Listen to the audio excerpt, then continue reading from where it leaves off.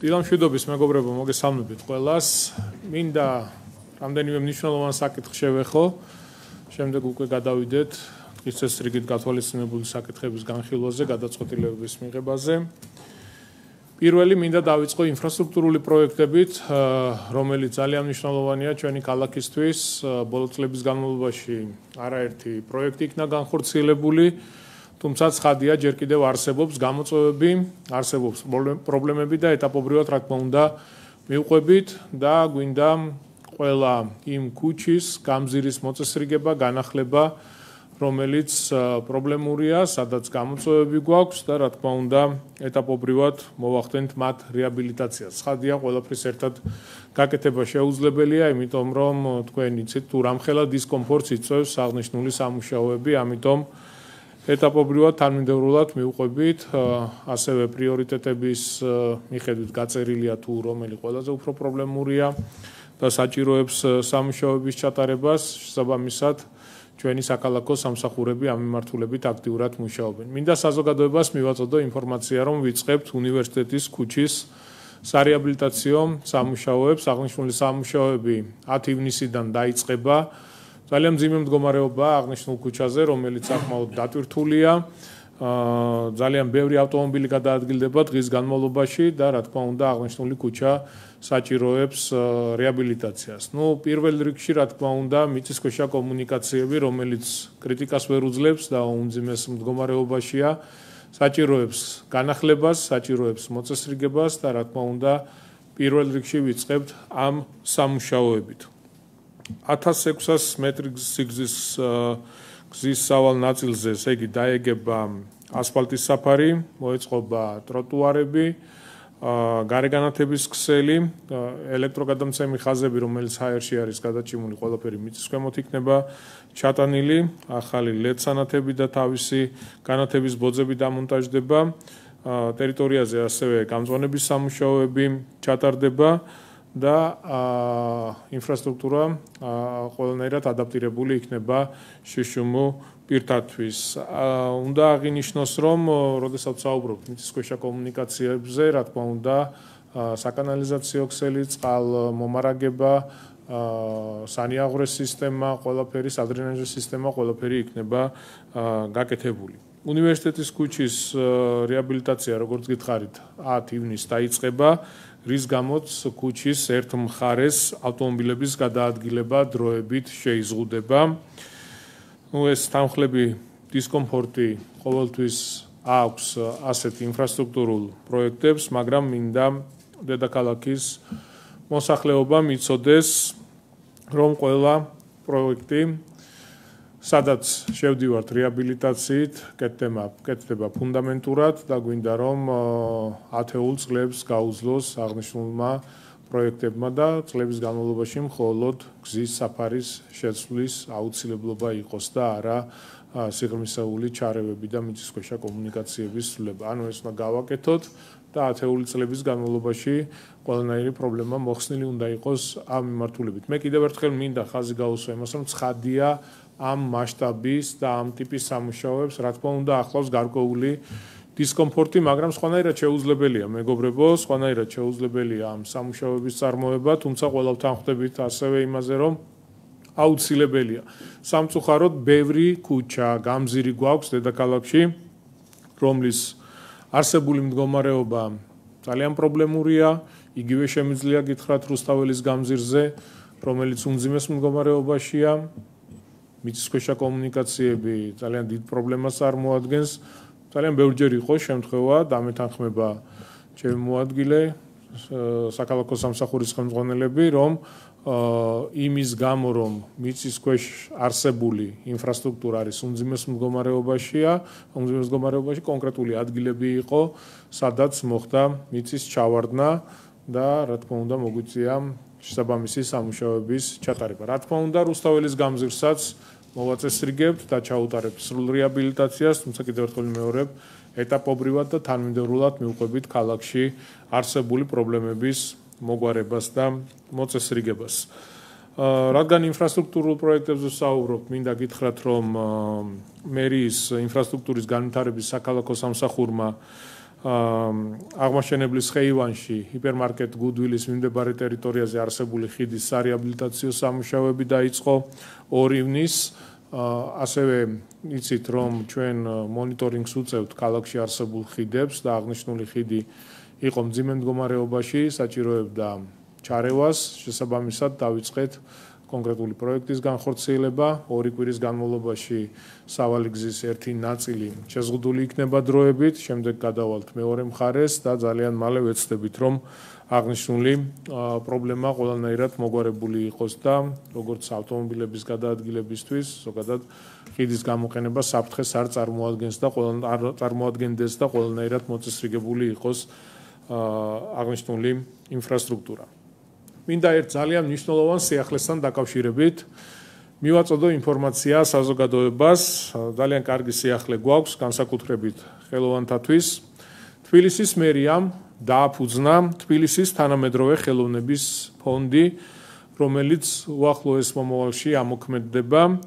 და ფონდის მიზანია არტისტების ხელოვნების ხელშეწყობა და მათ მიერ თანამედროვე ვიზუალური ხელოვნების ნიმუშების საჯარო სივრცეში გამოფენა ამ გზით თანამედროვე ხელოვნება ჩვენი ყოველდღიური და ყოფითი კულტურის კულტურის ნაწილი გახდება. ესე იგი ჩვენ განსაზღვრავთ ქალაქში კონკრეტულ ადგილებს, ქალაქის ცენტრში, სხვადასხვა უბნებში, სხვადასხვა რაიონებში კონკრეტული სივრცეები იქნება გამოყოფილი, სადაც ქართველი არტისტების შექმნილი ნამუშევრების განთავსება მოხდება.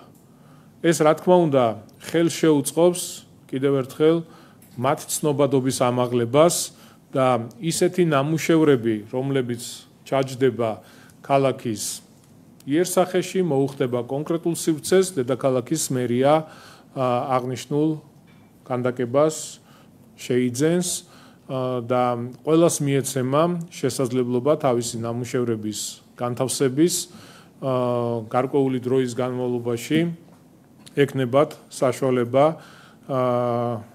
ამ დარგის წარმომადგენლებს რომ თავიანთი ნამუშევრები განათავსონ კონკრეტულ ადგილებში. შეიძლება რაღაც ნამუშევარი 3 თვის განმავლობაში იყოს, შეიძლება კონკრეტულ ადგილზე 6 თვის განმავლობაში, შეიძლება 2 თვის, 1 წლის განმავლობაში და ასე შემდეგ. ნამუშევრები აირჩევა ღია კონკურსის გზით და დროებით გამოიფენება სხვადასხვა საჯარო სივრცეში. სამომავლოდ ასევე გეგმავთ აღნიშნული ნამუშევრებისთვის შექმნათ პერმანენტული სივრცე, კანდაკებების ბაღი, რაც ასევე მნიშვნელოვანია. როდესაც ჩვენ ნამუშევრების განთავსებაზე ვსაუბრობთ, როგორც საუბრის დასაწყისში აღნიშნე, ეს იქნება კონკრეტული სივრცეები ქალაქის სხვადასხვა უბნებში, რაიონებში, ეს შეიძლება იყოს მოედნები, შეიძლება იყოს პარკები, სკვერები და ასე შემდეგ. ზოგადად რაც შეეხება ამ კანდაკებების ბაღს, ასეთი პარკის კონცეფცია უდიდესი შენაძენი იქნება დედაქალაქისთვის და ვფიქრობ, დიწვლის შეიტანს თანამედროვე ქართული ხელოვნების განვითარებაში და პოპულარიზაციაში. მინდა ჩემს მოადგილე ანდრია ბასილაიას თხოვო, რომ კიდევ უფრო მეტი ინფორმაცია მივაწოდოთ საზოგადოებას, შეხვდით ამ დარგის წარმომადგენლებს, აუხსენით ჩვენი იდეა რაში მდგომარეობს და კიდევ ერთხელ მინდა ხაზი გაუსვა იმას, რომ ვფიქრობ აღნიშნული ფონდი, აღნიშნული გადაწყვეტილება ხელშეუწყობს ამ ადამიანების პოპულარიზაციას, მათი ნამუშევრების პოპულარიზაციას და კიდევ უფრო გავაცნობთ საზოგადოებას თუ რამდენი წარმატებული ადამიანი გვყავს აღნიშნული მიმართულებით და დარწმუნებული ვარ ძალიან დიდი ხელშეწყობა იქნება მათთვის.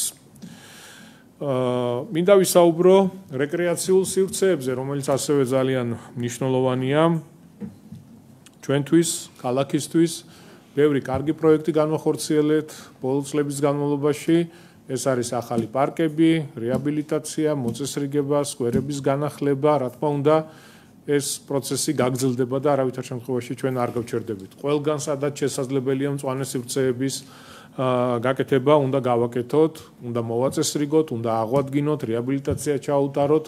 დღეს მინდა მოგაწოდოთ ინფორმაცია ერთ ძალიან კარგ პროექტთან დაკავშირებით. მერის გარემოს დაცვის საქალაქო სამსახურმა ვარკეთილში ხომლელისა და აბაშიშვილის ქუჩების მიმდებარედ 3 ჰექტრამდე პარკის სარეაბილიტაციო სამუშაოები დაასრულა. ძალიან მაგარი პარკი გამოვიდა. ძალიან ლამაზი არის პარკის ტერიტორიაზე განახლდა საფეხმავლო ბილიკები, განთავსდა საპარკე ინვენტარი, მოეწყო განათების სისტემა, საბავშვო და სპორტული მოედნები არის გაკეთებული. ასევე უსაფრთხოების კამერები არის განთავსებული, თავისი სარწყავის სისტემით, ახალი ხელმცენარეები, ანუ ყველაფერი, რაც კი აუცილებელია პარკისთვის, არის გათვალისწინებული. დაახლოებით 5524 მწვანე ნარგავი დაერგო. სარწყავის სისტემა, რაც აუცილებელია, რა თქმა უნდა, გათვალისწინებული არის და ჩვენ პარასკევს გვექნება იმის საშუალება, რომ გავხსნათ აღნიშნული პარკი. ძალიან ელოდება ადგილობრივი მოსახლეობა. ჩვენ ესე იგი პარასკევს გვექნება ასევე კონცერტი კუფილენდის კონცერტი. მინდა ყველა ვისაც სურვილი აქვს დავპატიჟოთ იმედია ამინდი ხელშეგვიწყობს და გვექნება კონცერტის ჩატარების შესაძლებლობა თუ ამინდის მხრივ პრობლემა იქნა რა თქმა უნდა გადავდებთ კონცერტს და სხვა დღეს ჩავატარებთ თუმცა პროგნოზით როგორც ჩანს კარგი ამინდი იქნება პარასკევს და საღამოს რომელ საათზე ვაპირებთ? საღამოს 8 საათზე იქნება გუფილენდის კონცერტი და აღნიშნული პარკის გახსნითი ღონისძიება ასე რომ კეპატიჟებით ყველას ვისაც სურვილი აქვს მოგზანდეთ აღნიშნული პარკის გახსნაზე. რადგან ჩვენ რეკრეაციულ სივრცეებზე ვსაუბრობთ და პარკების განახლებაზე მინდა მოგაწოდოთ ასევე ინფორმაცია. გარემოს დაცვის საქალაქო სამსახურმა დაიწყო კიდევ ორი აა რეკრეაციული სივრცის სარეაბილიტაციო სამუშაოები, ესენია ვაზის უბანში ნომერ 90000 სკოლის მიმდებარედ არსებული სკვერი, რომლის ფართობიც 16000 კვადრატული მეტრია და ასევე დაიწყეთ მუხიანში გობრონიძისა და ნონეშვილის კვეთაზე არსებული სკვერის განახლების სამუშაოები, რომლის ფართობიც 9 გექტარზე არის. რა თქმა უნდა, ამ სივრცეებში კლიანად რეაბილიტაცია ჩატარდება და მოეწყობა დასასვენებელი სივრცე, სადაც ყველა თაობის ადამიანს ექნება შესაძლებლობა დასვენების, განტვირთვის, ვარჯიშის და ძალიან სასიამოვნო გარემო იქნება. ვაზის უბანში სკვერის რეაბილიტაცია მიმდინარე წლის ბოლოსთვის იქნება დამთავრებული, ხოლო მუხიანში სამუშაოების დასრულება მიმდინარე წლის სექტემბრამდე იგეგმება დამატებით რა თქმა უნდა ამ სამუშაოებთან დაკავშირებით მოგაწვით ინფორმაციებს თუ რა ეტაპზეა, როდის დასრულდება და ასე შემდეგ. მინდა ასევე ტაქსების რეფორმასთან დაკავშირებით გავაკეთო კიდევ ერთი განცხადება, ყველა მთავრობის ნომაზე მიწევს აღნიშნულ თემასთან დაკავშირებით მესიჯების მიწოდება ტაქსის მძღოლებისთვის, ასევე იმ ადამიანებისთვის, ვინც ზოგადად ტაქსის სერვისით სარგებლობს, ჩვენ დავიწყეთ მნიშვნელოვანი რეფორმების განხორციელება. იცით რომ ბოლო გადაწყვეტილებით A კატეგორიის ტაქსის მძღოლებს, ვისაც ყავს 10 წლამდე ასაკის ავტომობილი, მივეცით უფლება გადაადგილების საავტობუსე ზოლებში, რა თქმა უნდა, მათ უნდა აიღონ სპეციალური სტიკერი, რომელიც უნდა განათავსონ წინა საქარე მინისტრ ზემოთ მარჯვენა კუთხეში.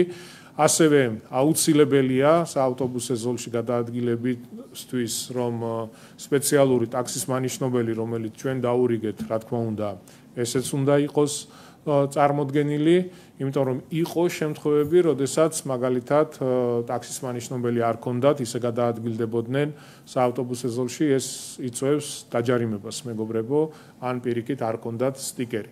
ეს ორივე ძალიან მნიშვნელოვანი კომპონენტია და გაითვალისწინეთ ეს ყველაფერი წინააღმდეგ შემთხვევაში, რა თქმა უნდა, იქნება გამოწერილი ჯარიმა. არავის არ სიამოვნებს ჯარიმების გამოწერა, უბრალოდ დავიცვათ წესრიგი და ის რეგულაციები, რომელიც არის გაწერილი და რომელთან დაკავშირებით თქვენ სრული ინფორმაცია გაქვთ, რაც შეეხება სტიკერების გაცემის პროცესს 1600-ზე მეტ ტაქსის მძღოლს აქვს აღებული აღნიშნული სტიკერი, რომლებიც ყოველგვარი პრობლემების გარეშე გადაადგილდებიან საავტობუსე ზოლებში. იმ ავტომობილებისთვის და იმ ტაქსის მძღოლებისთვის ა კატეგორიაში არსებული ტაქსის მძღოლებისთვის, რომელსაც არ ყავს 10 წლამდე ასაკის ავტომობილი და უფრო ძველი ავტომობილები ყავთ, რა თქმა უნდა, მათთვის რჩება იგივე წესი საავტობუსე ზოლში, მათ აქვთ მხოლოდ და მხოლოდ მგზავრის აყვანის და ჩამოსმის შესაძლებლობა. რაც შეეხება QR კოდებს, 200-ზე მეტი QR კოდია გაცემული, რომლის საშუალებით მგზავრს შეუძლია ელექტრონულად გადაიხადოს ხოლო მძღოლს თანხა მომენტალურად აესახება ანგარიშზე. ესე ძალიან კარგი შესაძლებლობაა თქვენთვის. გამოიყენეთ აღნიშნული სერვისი ყოველგვარი გადასახადების გარეშე. გაძლევთ ამის შესაძლებლობას, ესეც რა თქმა უნდა ნებაყოფლობითია. რაც შეეხება ტაქსის მძღოლებს, იაქტიურეთ მეგობრებო, ჩვენ რა ინფორმაციაც გვაქვს 3500-მდე ტაქსის მძღოლს აქვს იმის შესაძლებლობა, რომ აიღოს აღნიშნული სტიკერი, ეს არის ის ავტომობილები, რომლებიც 10 10 წლამდე ასაკის არის და გამოიყენეთ ეს შესაძლებლობა და ისარგებლეთ ავტობუსზე ზოლში გადაადგილებით. და ბოლოს ჩვენი მუნიციპალიტეტის კიდევ ერთ დამსახურებულ თანამშრომელზე მინდა გიამბოთ, ივეტა მასურაშვილი თბილისის სატრანსპორტო კომპანიაში უკვე 50 წელია მუშაობს ქალბატონი ივეტა წლებია არქივარიუსის პოზიციაზე საქმიანობს. ამ წლების განმავლობაში მას არაერთი მადლობა და ჯილდო აქვს მიღებული. არის შრომის ვეტერანი. ამავე დროს დღემდე განაგზობს საქმიანობას არქივის საქმის წარმოების სამსახურში. მისი სამუშაო გულისხმობს და დასაარქივებელი დოკუმენტაციის მოწესრიგებას და სათანადო პირობებით დაცვას. მიუხედავად სამუშაოს რუტინულობისა, 84 წლის კალბატონი ივეტა მასურაშვილი დღემდე რჩება თავის საქმის ერთგული და აქტიურად აგრძელებს საქმიანობას. კიდევ ერთხელ მინდა მადლობა გადაუხადო ქალბატონი ვეტას გაწეული შრომისთვის, საქმიანობისთვის და წარმატებები უსურვო მომდენო წლების განმავლობაში დარწმუნებული ვარ ის გააგრძელებს და ერთგულად ემსახურება ჩვენს ულამაზეს დედაქალაქს და რა თქმა უნდა ამ ქალაქში მცხოვრებ ადამიანებს. ახლა შეგვიძლია გადავიდეთ დღის ეს რიგით გათვალისწინებული საკითხების განხილვაზე და გადაწყვეტილებების მიღებას.